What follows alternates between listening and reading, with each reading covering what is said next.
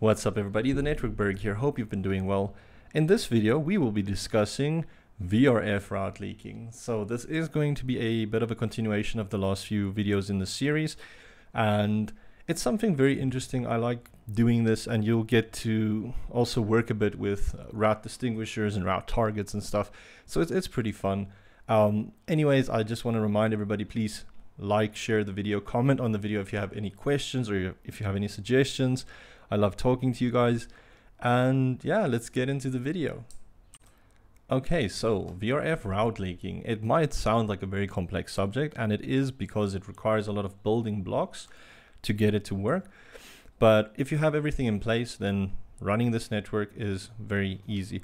So why do we want to VRF route leak? Typically, this would involve maybe setting up a management network that's able to get to all of your links that you've got set up between your edge and your customers so that you can monitor the links and see if they are down. Because typically in an ISP network, your customers might have overlapping LAN subnets and all that stuff. And that's the nice thing why you can put them in their own VRFs. But the links which come into your actual network, you're probably giving each link, like on this diagram, a unique either a slash 30 or slash 29 subnet in order to bring the service into the network. And you'd want to be able to get or monitor these subnets in case something happens so that you can quickly identify is there an outage or is it just the customer's link that went off or is there a bigger issue? So that's typically why we want to bring in a management network. Um, the management network you could put it anywhere in your core it doesn't matter where it is um, just as long as it is a vrf that can also participate in all of the listening that's happening on your core network so that you can pull in and export routes uh, just so that you can get to all of your sites. Now, our objective for this is we're going to get this management PC, which is going to be on this 10.80.5.0 slash 24 range to get to all of these 172.18.0.0 subnets so that we can effectively monitor the link. We could have had PRTG there or SolarWinds or the dude or something so we could actually monitor the links and this will now allow us to ping or send ICMP messages or SNMP or whatever to get to our CPE's WAN IP and verify if the stuff is up or down. Now, um, I'm going to configure my management network on this uh, ASBR. So I've connected this on Ether5 on the ASBR. I think I've already assigned the IP addresses, but let's just quickly check. I'll go into Winbox and I'll connect and let's just close all the windows. Let's look at our IP addresses. And yes, I've got 1085.1 slash 24 on Ether 5. Perfect. So first thing that I want to do is I'm going to create my own VRF for the management. So let's go into our IP. Let's go into our routes. Let's go to VRF.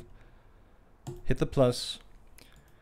What am I going to call this? I might just call this MGMT for management and my interfaces will be Ether5 because that's actually going to my management network. If it was going to a different router, that's fine as well. It's just about learning the routes for the management network. Route distinguisher, very important. So throughout my network, I've been using 6502 and then we can make a colon and I'll make this 1000 for the management network. Import rules.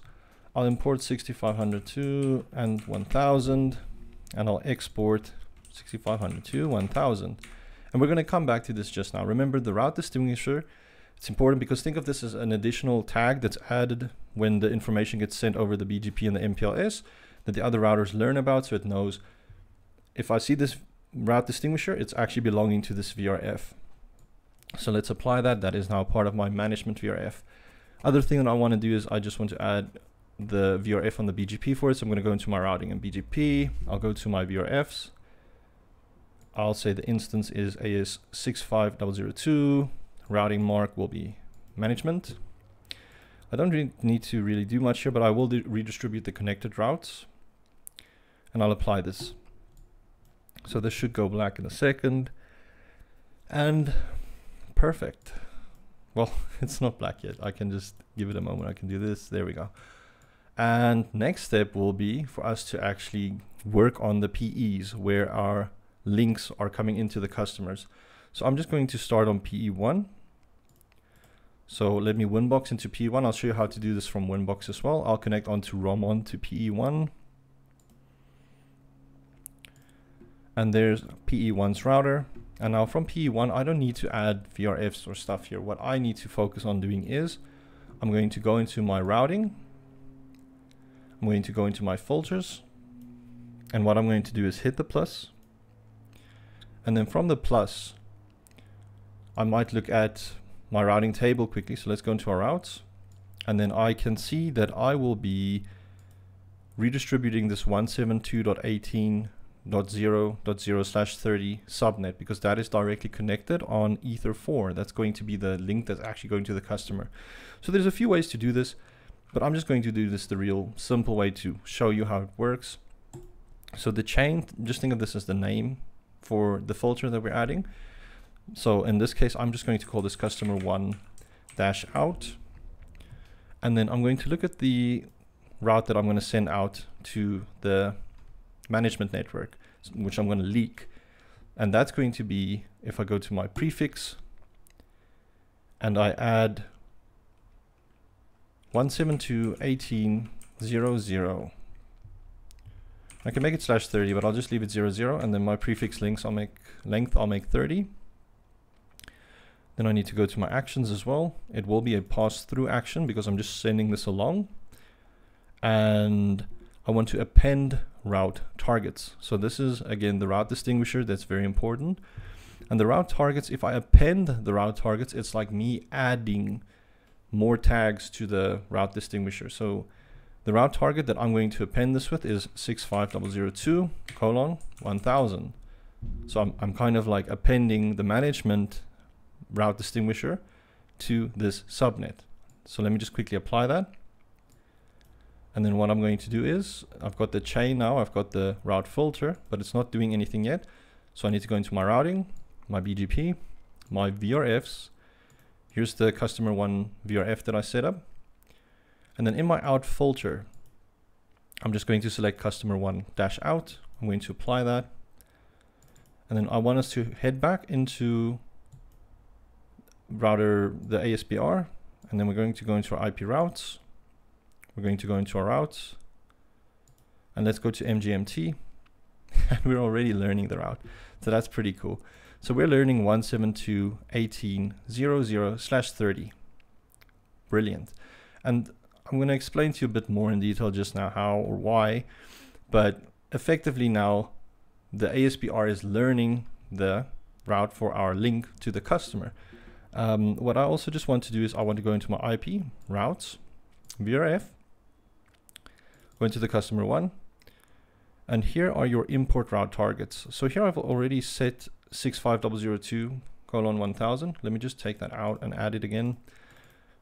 So import route is basically routes that we're pulling in from the MPLS. So I'm going to pull in 65002 colon 1000 and that will allow me to pull in any routes on the management range. And remember, I'm redistributing the connected routes. So if I go into my IP routes and I look at customer one, I'm learning 10.80.5.0 slash 24, which is the management range that I've configured. So basically, if I go into the management PC now, this is why it's so quick actually.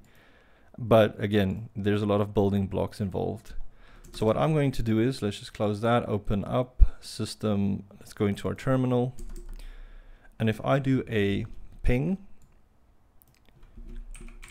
to 172.18.0 dot, dot one is my PE and dot two is the CPE that's at the customer side, I can actually ping it.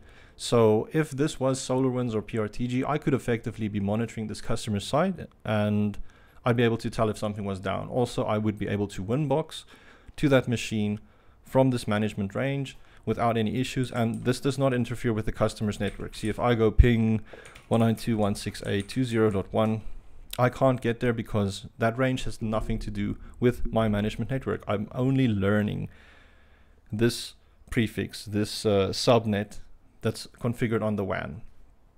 So I just quickly want to also do the same Let's just go here. I'm going to run a ping to 172.18.0.6, which should be the IP address for CPE2, and that's going to fail.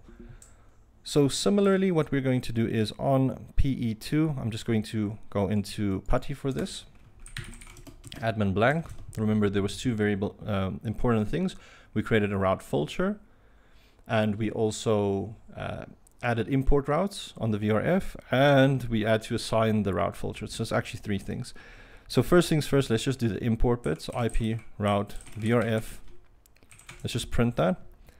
So similarly, I'm already learning that, but let's just act like we weren't learning it. So IP route VRF, I could edit that. Then I could go into my import route targets. And then I could have just added 65002 colon 1000, which is the management route distinguisher. I'm going to save that. So let's quickly add a route filter. So we can do routing filter, add. Let's give it a chain, which is the name basically. So we can call this customer one dash out again. And we can look at the prefix. And that's going to be 172.18.0.4. And then the prefix length is going to be 30 because it's a slash 30 and we are going to set the action to pass through. But it, it does that by default but we can just set it anyways. And the, the last important bit is the set route set route so we're not setting a route target we are not setting any of that stuff. We're appending, it should be at the top actually. Append route targets, that's what we're looking for. So we append route targets and we're going to append, remember we're adding to, so it's 6502 colon 1000. So we're just adding that to our route. I'm going to enter. Now we need to go into our routing, BGP instance VRF let's just print that. So I've only got the one for customer one. So I can edit zero, which will be for customer one. And then what I want to edit, actually I don't need to do edit. I could typically, well, let's do it with edit. We could say the out dash filter because we could have used the set command as well. But let's say this, so it was customer one dash out Save that. And let's just quickly print the, well, let's export it. Make sure that it's taken the out filter. So we're sending that route out. We're appending that route distinguisher to it now. And then I want us to go back onto the ASBR. And if you look at the ASBR, we're now learning these two link addresses for our sites. So we can actually get to both of them. Um, and similarly if I do an IP route print we're gonna just do a where as well where routing mark equals customer one for the customer one VRF we are learning the 10.85.0 slash 24 subnet so this means that if I go back onto this RDP session and I ping 172.18.06, I'm getting a response now. So I can now manage my remote customer CPEs and I can monitor them without having to fiddle around much with the customer's network.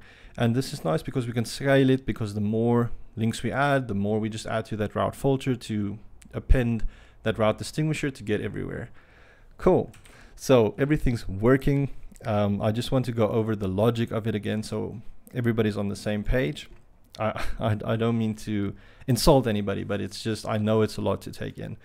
But essentially, on each of the routers, well, not on each of the routers, but on PE1 and PE2, there are VRFs configured for customer 1, and they have the same route distinguisher for customer 1, and that is 65002 colon 1. And that is being I don't want to say broadcasted, but it's being learned or communicated throughout the network via the MPLS that we've set up. So if I go into PE1 quickly, and if I go to my routing and BGP, and I look at my VPN4 routes and that stuff, you see it's it's I'm getting labels. There is MPLS involved in this learning, in this discovery. So there you see, there's the route distinguisher for the management range because I'm learning that actually over the MPLS.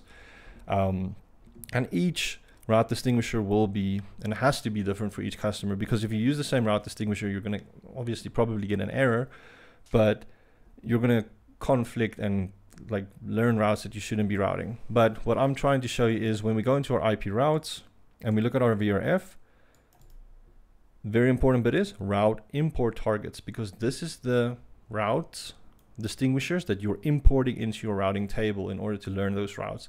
So this is how we're VRF route leaking. I'm going to end off the video here. I'd like to thank you again for watching and I hope you've learned something new. See you in the next video. Bye bye.